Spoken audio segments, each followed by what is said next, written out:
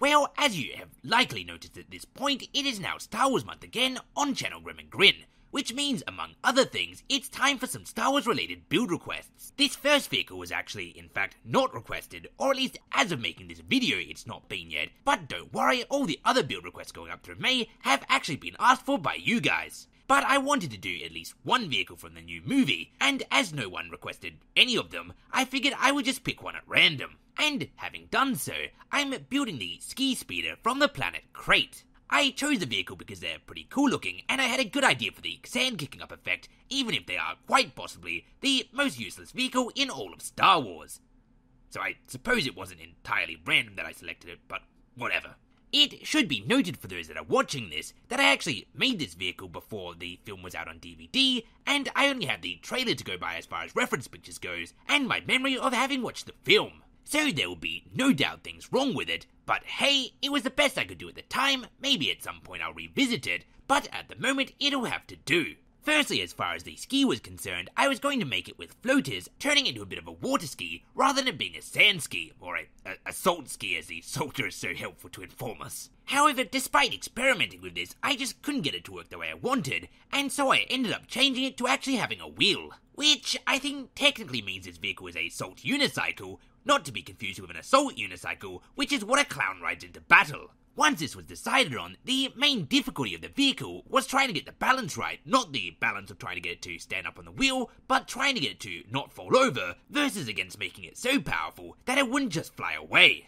I mean, ironically, this vehicle would have been far easier to make if it was just an airship or if it was just a hovercraft of some sort, which kind of raises the question in a universe like Star Wars, what is the point of having this silly ski? I mean, come on, this is a universe where even a poor moisture farmer on a backwards planet in the middle of nowhere can afford a hovercraft to do his errands, and that hovercraft is 45 years before this movie is set, already outdated. Are you honestly telling me that a jet powered hovercraft that can't hover too much because it has to balance precariously on a ski was easier to make and more practical than just having a simple hovercraft? Which no doubt has the answer. Of course, it would have been easy to make Grim, but then it wouldn't have kicked up the salt, creating that cool red footprint effect. And then, if that was the case, we would have absolutely no way of telling what on the screen was a resistance vehicle and what on the screen was a force projection. I am, of course, being facetious, so let's move on. As the balance was slowly improving with my constant shifting of power versus weight, we eventually got to a point that I was comfortable to start adding some more aesthetic pieces,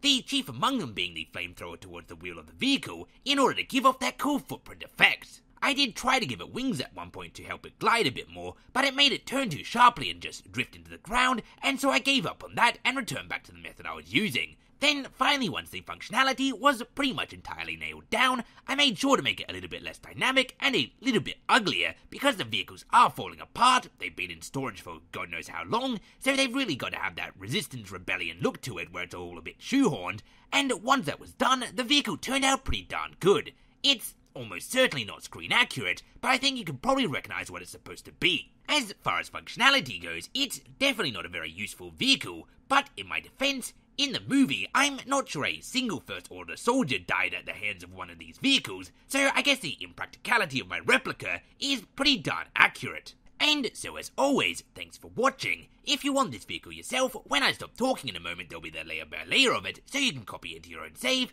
and until next time, I have been and still am Grim Grindle. And as I said, this is Star Wars month, so make sure to stay tuned and check out our other Star Wars related videos. We've got lots of them going up, so if you are a fan, there'll be plenty to see.